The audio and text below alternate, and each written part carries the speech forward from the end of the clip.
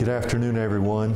I'm Don Buckner, and I'm delighted to introduce myself as a member of your Health and Human Services Agency Board.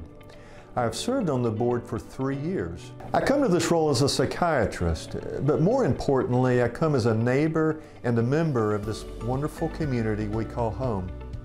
I've lived in Haywood County for 28 years and currently live at Lake Junaluska. I feel a personal calling to serve on the board and to support the agency and its important work. In the words of Albert Schweitzer, the ones among you who will be really happy are those who have sought and found how to serve. The board has certainly given me that opportunity. Together, we can work to address the challenges and opportunities our community faces. Our goal is to ensure accessible health care, social services, and support for all, regardless of their circumstances. It's not just a job, it's a mission. And this board is here to stand beside you in achieving it. I'm eager to listen to your thoughts, your ideas, and your concerns.